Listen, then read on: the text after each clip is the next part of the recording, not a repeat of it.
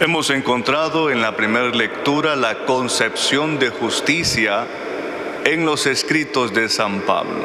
San Pablo divide la justicia en dos tribunales, el tribunal de los santos y el otro tribunal llamado el tribunal de los impíos o el tribunal de los injustos.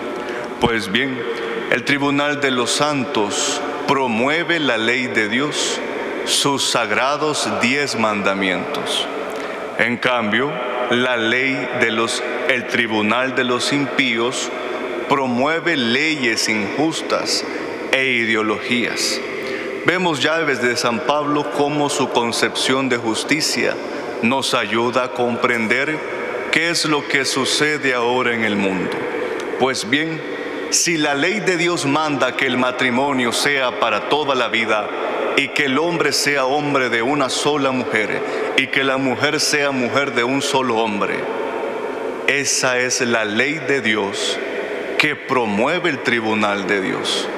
Pero ahora viene el tribunal del mundo y le dice a, los jóvenes, pueden casarse con quien quieran, cuantas veces ustedes quieran, con las personas que ustedes quieran. Y ahí vemos la diferencia entre la ley de Dios y la ley del mundo. Las leyes del mundo son pasajeras.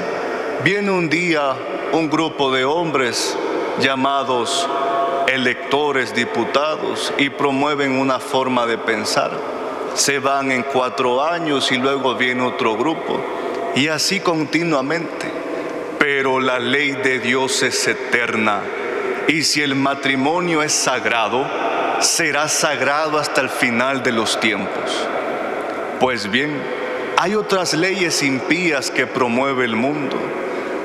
Promueve el aborto, promueve leyes como la eutanasia, mientras la ley de Dios nos dice que hay que cuidar y preservar la vida desde el vientre de las mamás. Las leyes y los tribunales impíos le permitan a sus madres, a las madres, acabar con sus hijos en sus vientres. Otra gran diferencia entre la ley de Dios y la ley del mundo. Y así podríamos sacar miles de ejemplos en todo el mundo. Pero lo que debemos de comprender es que la ley de Dios nos da salvación. En cambio, las leyes del mundo conducen a la gente a la perdición. Si la ley de Dios nos dice, honra a tu padre y a tu madre hasta el día en que ya no esté contigo, las leyes del mundo les permiten a los hijos encerrar a sus papás en albergues, en asilos, algo totalmente injusto. La ley de Dios es el camino de la vida. En cambio, las leyes e ideologías del mundo son camino de perdición. El cristiano, el hombre y la mujer que viene a la iglesia, tiene que saber distinguir perfectamente entre las leyes de Dios y las leyes del mundo. El hombre y la mujer de la iglesia que procura seguir los mandamientos de Dios, va a tener sabiduría y salvación, va a tener el respeto de sus hijos y tendrá salvación y bendición en su hogar para siempre. Amém.